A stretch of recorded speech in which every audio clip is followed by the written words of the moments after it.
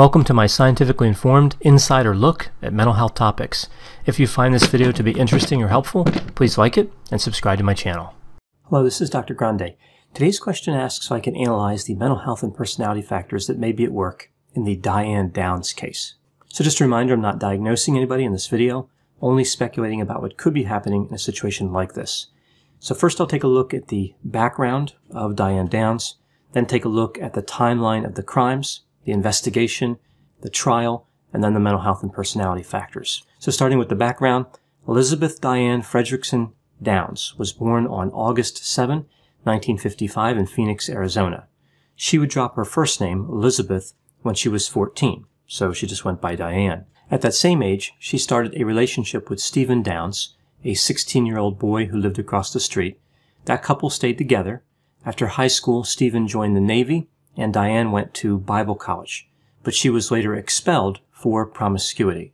Diane and Stephen were married in 1973, and they had a rocky relationship. They argued frequently about Diane's infidelity. In 1974, the couple had their first child, Christie. Their second child, Cheryl, was born in 1975. The couple moved to Mesa, Arizona in 1978. Diane was having multiple affairs with coworkers and became pregnant. She had a son, Danny, in 1979. Stephen decided to raise Danny as his own, even though he was not the father. The couple got divorced in 1980. This isn't really that surprising based on what happened in this relationship. At this point, Diane dated a number of men. Many of them were married, and she attempted to reconcile with Stephen. She attempted to become a surrogate mother at one point. We see the process required a mental health assessment. The mental health professionals determined that Diane was psychotic although highly intelligent. 1981, Diane starts working full-time for the post office. Then, toward the end of 1981, she was accepted into the surrogate program. So I guess the whole psychotic thing really didn't scare them as much as one would think.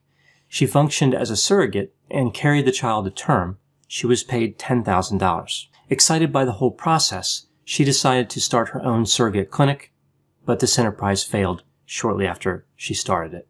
Around the same time, Diane met a man named Robert Knickerbocker. He went by the name Nick. They started having a romantic relationship, however, Nick was already married. Nick became scared of how needy and demanding Diane was, so he broke off the relationship. Diane moved to Oregon, but was not over Nick. The two of them stayed in contact, and Diane visited Nick in April of 1983. During this visit, Nick rejected Diane once and for all indicating that he had no interest in serving as a father to her children. And this brings us to the crime. So here I'll start the timeline of the crime. May 19, 1983. 27-year-old Diane Downs drives to a hospital in Springfield, Oregon. Diane and all three of her children had been shot with a 22 caliber firearm. Cheryl was dead. Christie had a stroke and Danny was paralyzed. Diane explained that she was driving and she saw a man on the side of the road flagging her down. She believed the man was in need of assistance. She pulled over and the man attempted to steal her car. When she resisted, the shooting started. She of course did not know who the man was. She identified him as a bushy-haired stranger. Nursing notes indicated Diane was in shock and unable to understand what was going on. She was shot in the arm. Her injuries were actually quite severe. The surgeons used a steel plate to repair her arm. In the days that followed, as medical professionals were treating Christie and Danny, we see that some of the hospital staff described Diane as cold, uncaring, and unemotional. They said she was having no emotional reaction. She didn't shed one tear. Diane had stated apparently that this incident, the shooting, had spoiled her vacation. She indicated that it ruined her new car. She got blood all over the back of the car. She told a physician that she knew Christie was brain dead and she wanted him to pull the plug. This physician, a surgeon, had asked a judge to appoint him and another physician as Christie's guardians. The judge granted his request. Now we move to the investigation. Due to Diane's unusual behavior, the police focused on her right away as the primary suspect. As we see so often, the investigators made a number of mistakes, including failing to look for fingerprints on Diane's car and failing to take any photographs of the crime scene. They indicated that the search for the bushy-haired stranger was not a priority.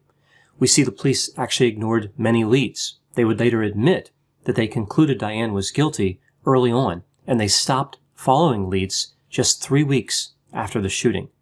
The police did not like Diane's attitude. They didn't think she was acting like a grieving mother should act. They believed she was laughing at the wrong times, like inappropriately laughing, that she sought attention, and that she smirked at them. In terms of actual evidence, rather than what the investigator's opinion was of appropriate versus inappropriate emotional expression, we see that Diane did change her story several times. In one story, the bushy-haired stranger knew her name, and another version had her answering a call and then driving out to meet someone. So this was problematic for her. Nine months later, on February 28, 1994, Diane would be charged with murder, two counts of attempted murder, and assault. Now moving to the trial. Before I get into the evidence in this case, it's important to note here that Diane attempted to retain a famous defense attorney, Melvin Belli. This was the same attorney who was contacted by the Zodiac Killer, although he was already famous prior to that incident. Belli filed a motion for a three-week extension so he could get up to speed on the case, but the judge denied this motion, telling Diane to use the attorney she already had. So, if Melvin Belli had been the defense attorney in this case, it is reasonable to believe there would have been a different outcome. Now, a lot of evidence was presented here. I'll first look at the evidence pointing toward Diane being guilty, and then look at the evidence pointing toward not guilty. So on the side of guilty, as Diane was driving to the hospital, there was a motorist behind her.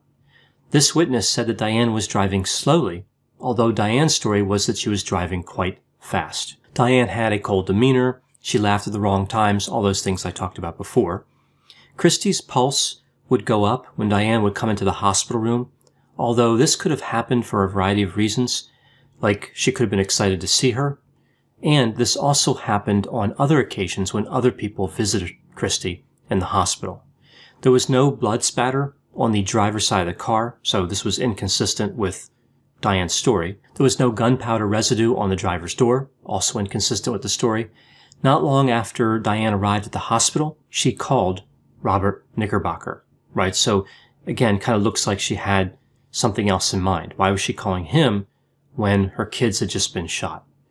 Robert told the police that Diane was a stalker, right? So he didn't contribute anything that helped her. Diane's story was inconsistent, as I mentioned, and we see, I think, the most damaging evidence against Diane. Christie, her daughter, testified against her. Christie identified Diane as the shooter. Now moving to the evidence that points toward not guilty. We see the motorist that was driving behind Diane that I talked about who said Diane was not going quickly.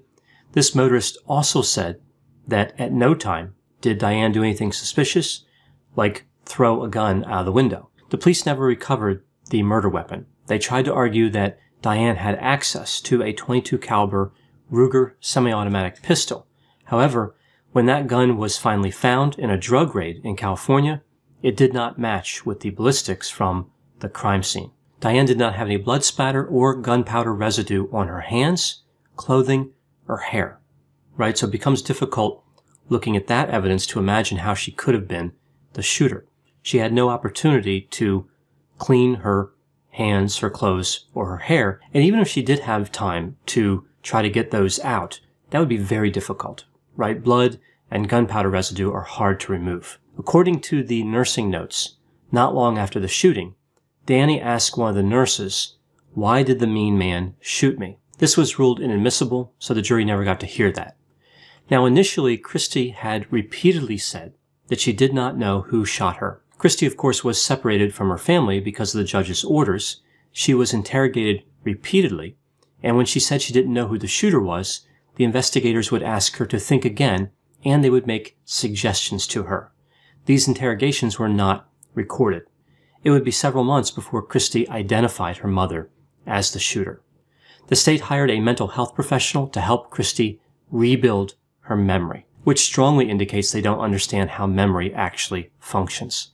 Years later, we see that Christie would say that she did not know who the shooter was. Christie's account of what happened in the car did not match the blood spatter. For example, she indicated that her sister Cheryl was sitting upright in the front seat when she was shot, yet no blood spatter was found in the front seat. Years after the trial, Witnesses came forward saying that a man named James Haynes confessed that he was the shooter. Now, considering all this evidence, we see that the jury convicted Diane Downs on June 17, 1984. She was sentenced to life in prison plus 50 years. Prior to being sentenced, Diane gave birth to a girl she named Amy Elizabeth. The baby was taken by the state and given to adoptive parents. The girl was later renamed Rebecca Babcock. The prosecutor in the case adopted Christie and Danny, right? Some people view this as touching and appropriate, and other people look at this with a little bit more suspicion. Like, was this a conflict of interest? He was prosecuting their mother, right? So it's hard to know, but that happened either way. Now we see that Diane escaped prison on July 11, 1987. She was found 10 days later hiding with a group of men. Five years was added to her sentence. It's also alleged that she had this escape attempt worked out with a boyfriend where he was going to hijack a helicopter and land it in the prison yard. It's not clear how serious Diane was about that escape plan, but it was something that, again, allegedly she had discussed. Diane was denied parole in 2008 and 2010, and she still maintains her innocence. So now moving to the mental health and personality factors that may be at work in a case like this. So we see in the closing arguments of the trial, the prosecutor said that Diane had been diagnosed as a deviant sociopath. Yet we see an affidavit from the mental health professional who assessed Diane indicating that diagnosis was never given. The affidavit also correctly asserts that deviant sociopath is not a diagnostic category, so it doesn't exist in the DSM. Interestingly, on an MMPI that was administered to Diane, that's a Minnesota multiphasic personality inventory, Diane scored in the normal range for personality disorder. Diane was actually diagnosed with cyclothymia. Now, after Diane was convicted, the prosecution hired a mental health professional who, after interviewing Diane for an hour, diagnosed her with antisocial, narcissistic, and borderline personality disorders. Later on, we see opinions that suggest Diane does have an unusual style of emotional regulation, but this behavior falls short of what's required for a diagnosis of a personality disorder. So what's going on here? Well, of course, it's impossible to know for sure. All I can really do is align behaviors with different symptoms. Let's take a look at the disorders the mental health professionals diagnosed. So starting with antisocial personality disorder. What worries me about this disorder or the label sociopath is that in this case, the categorization is highly dependent on Diane being guilty. If she is guilty, then the mental health professionals might say, well, we see criminality, deceitfulness, impulsivity, aggression, a reckless disregard for safety, irresponsibility, and a lack of remorse, right? So with that crime, they can try to really touch on all the symptoms of antisocial personality disorder. But the problem here is that they are relying on one event, and all of these symptom criteria must represent a pattern. If she was innocent, what evidence remains indicating she could meet those criteria? Maybe they could argue that her inconsistent story lines up with deceitfulness, but either way, there's a much weaker case if she actually did not commit the crime. And I haven't seen any clear evidence that she had conduct disorder symptoms in her childhood either, but they, of course, would have had access to more information. Now, what about borderline personality disorder? Here again, they are relying on guilt.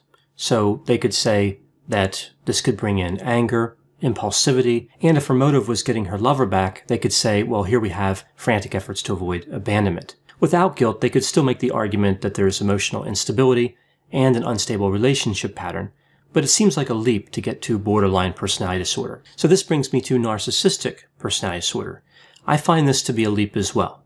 Without guilt, they might be able to say that there was a need for excessive admiration, although I could argue that excessive really isn't established here. With guilt, they could argue a sense of entitlement, arrogance, manipulation, and a lack of empathy, but they would be running into the same problem they ran into with antisocial personality disorder. They're tying the symptoms to one event. I find it interesting that they didn't bring up histrionic personality disorder. I mean, they threw in every other cluster B personality disorder, so why not take a look at histrionic?